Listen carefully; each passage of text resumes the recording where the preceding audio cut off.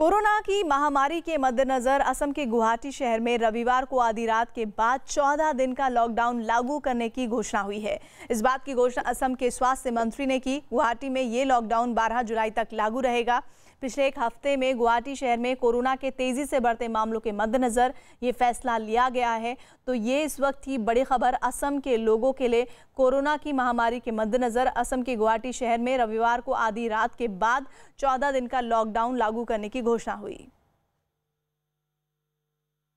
all government offices, offices of autonomous subordinate offices and private offices will remain closed. All business, commercial establishments, shops, trade activities